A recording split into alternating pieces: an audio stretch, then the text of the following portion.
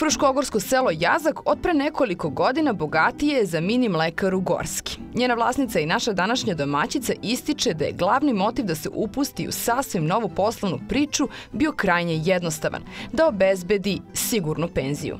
Ideju gospođe Ljiljane da započne sa uzgojem kozica suprug nije najsrdačnije pozdravio, ali je ubrzo usledio obrt.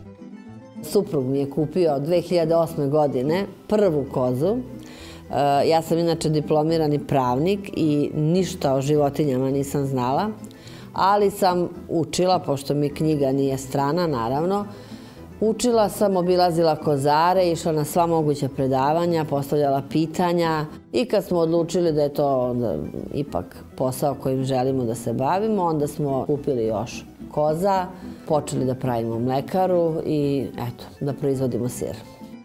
Skoro dve godine trajalo je njihovo upoznavanje sa novim poslom i izazovima koji idu uz njega, a prva odluka koju su morali da donesu bila je izbor dobrih grla. Učinili su to i napunili farmu nedaleko od banje Vrdnik mlečnim alpina kozicama.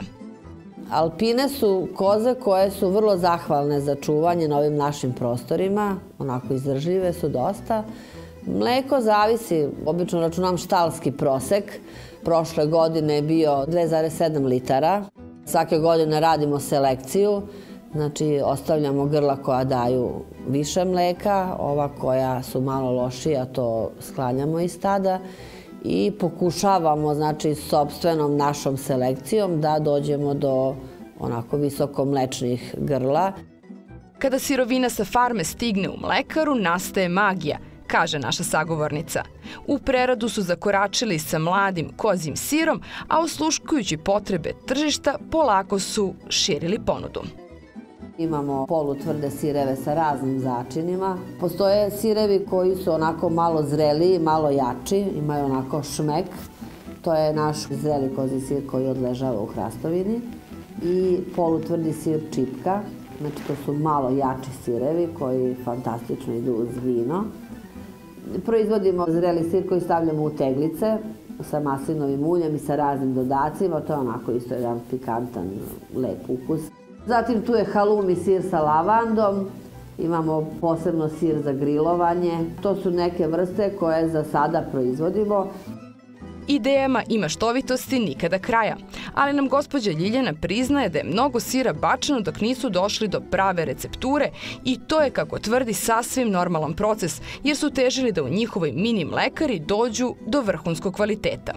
Potvrdu toga već dva puta su dobili na Novosadskom poljoprivrednom sajmu osvojivši zlatne medalje, ali im to više nije bilo dovoljno izazovno. Želeli su da se njihov domaći beli sir baci u baru punu krokodila na svetskom nivou. Prava prilika za to bila je međunarodno takmičenje u proizvodnji sira u Londonu sa tradicijom dužom od tri decenije. U žestokoj konkurenciji iz 35 zemalja, kozji sir iz ove fruškogorske mlekarice nedavno je osvojio bronzu. Od 3000 sireva samo oko 800 je dobilo neko priznanje, time je naš uspeh i sreća još veća, jel?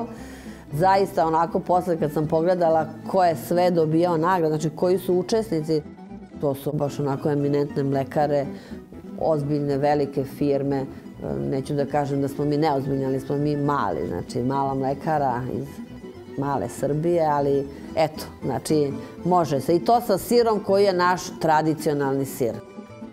Eto dokaza da i mi konja za trku imamo i da u proizvodnji kvalitetnih sireva ne zaostajemo za Italijom, Francuskom ili pak Švajcarskom.